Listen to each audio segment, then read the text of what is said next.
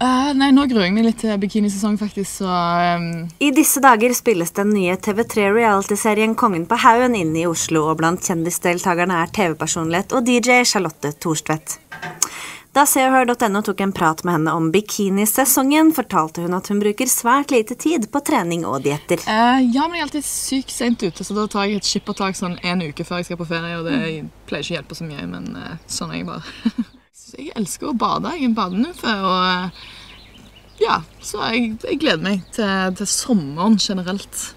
Jeg er veldig glad i å trene yoga. Det, det er liksom min greie.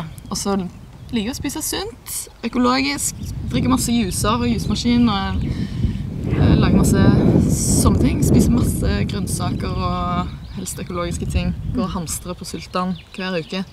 Um, så ja, jeg liker å holde meg sunn, men av og til så skjer jeg ut òg.